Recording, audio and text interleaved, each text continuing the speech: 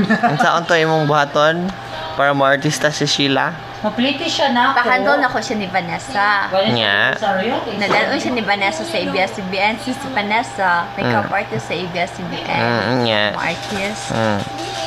ABS-CBN Manila? Nya I ako. don't know kung saan nga. Nya ako, unsa man na ako pagadtos Manila. Hundred ka. Mo- kung Kisa may na maplitin ako. Baita ako. Mo ko Nya si si son. Joshua kisa may mapliti. Ha? Kisa may mapliti ni Joshua. Joshua? Ako gyapon. Oh, so kitang tulo mga to niya plus ni Sheila. So ako, mahandol sa eskwelahan. Nana, siya ng style. Wala siya sa mahimo.